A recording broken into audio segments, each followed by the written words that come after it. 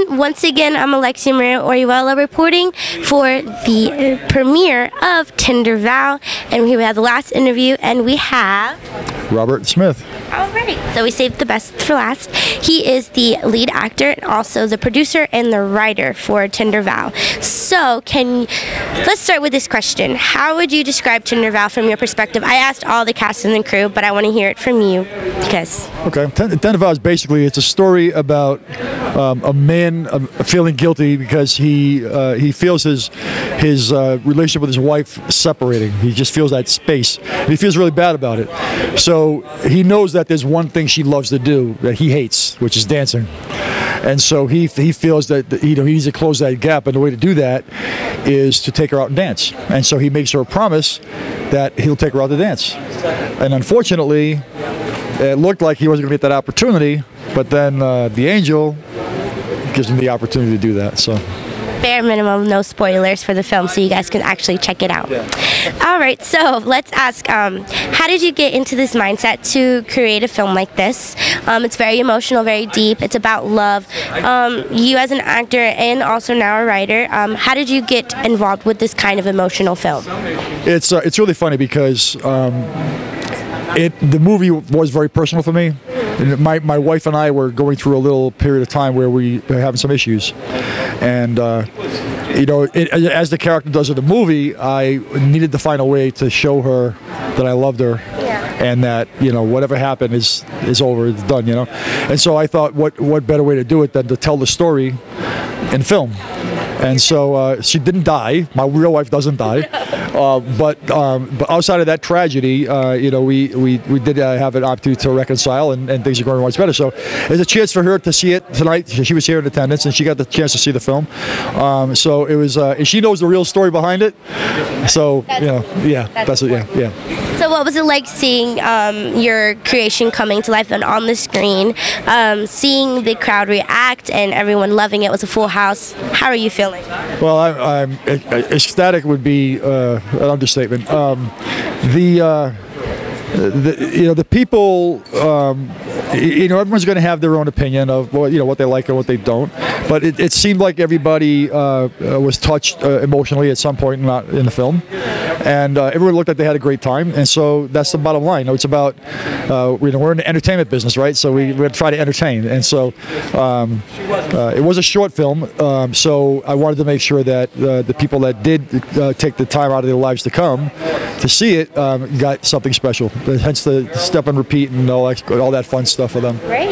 And for this film and this character, I know you said that you wrote this film because it has a good meaning to you with your your love and your relationship. How did you prepare to bring that kind of character to life? Because you have to bring it on screen and you have to be vulnerable. How are you getting prepared for this, like especially when it hits home? Well, as I said inside the theater, the, the thing that really uh, kind of turned on the emotion for me was the song Mardi Gras.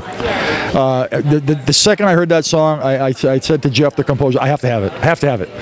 And uh, every time I listened to that song, I, I, would get tears in my eyes, you know?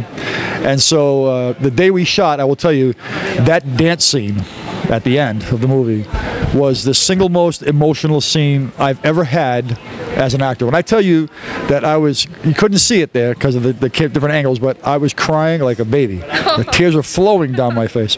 Um, so it was a very, very emotional scene, and it's you know, it's it, it again, it's it, it's just it's me living my life, but just in a different circumstance, you know. And you're putting uh, it out there. Absolutely. So so you know, you your your vulnerability comes through, but it was it was the most uh, emotional scene I've ever shot. It was incredible. And and going back with that, what's what was it like working with Janice and the whole cast and the crew? Oh yeah, let me start with Janice. Janice, uh, you know, as far as I'm concerned, when I when I when I wrote the character, the, the, my wife in the film, I wrote it with Janice in mind. I, I, could not think of anybody else that I know that I had some type of on-screen chemistry with that could pull off an, um, such an emotional role. And Janice is one of those actors that are kind of far and few in between. Janice can carry a scene without even saying a word.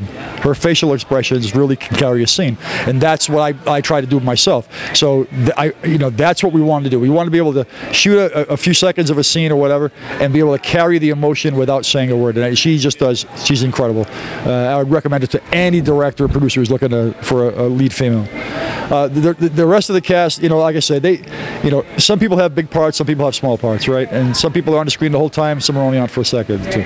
But everybody gave up their time. Everybody drove uh, long distances to, to come to the shoot, and they wait around till it's their turn, and they all gave their best shot. And, and when you're when you're making a film, that's what you want. You want actors who are just going to give it their best shot, no matter what, no matter what the role is. And they just did a fantastic job. I'm very proud of them. Very proud of them. And so, where can anyone find the film to watch Tender Vow, and also where can they find you as an actor? let's see. Uh, the film, uh, I will have the film uh, out, uh, uh, available for the general public uh, on uh, March 16th. Uh, if you're interested in buying it, uh, it's very inexpensive, it's only ten dollars. Um, for, for it's a really quality product. Um, but uh, for me, uh, I've got a couple of uh, short films that I'm going to be uh, doing. One, I, I get to play another uh, role that I've never done before. I get to uh, play a role for of a father who abuses his 16-year-old daughter. So that's, uh, you know, I've never played a child abuser before. So uh, that I'm sure that's going to be extremely emotional as well. yeah. Yeah, yeah. And where can they find you? You have a, a Facebook that they can see all your work on IMDb. Yeah, yeah, I have, I, I do have a IMDb page. Don't ask me to tell you what it is because I can't remember the thing. but I'm uh, R. Lewis Smith. If you look up R. Lewis Smith on IMDb, you'll find me. I'm the only one. Uh, Facebook as well. It's R. Lewis Smith Acting is my fa- Facebook page, and of course Robert Smith is my general Facebook page. And Tender Vow has their own page too. So you type in Tender Vow, you can find it there too. There you go. Well, thank you so much, Rob, for having me out. I really enjoyed seeing the film and getting to talk to everyone. Of course, seeing you again. Thank you guys. Definitely check out Tender Vow and Rob Smith over here. Thank R. you. Lewis. Thank you.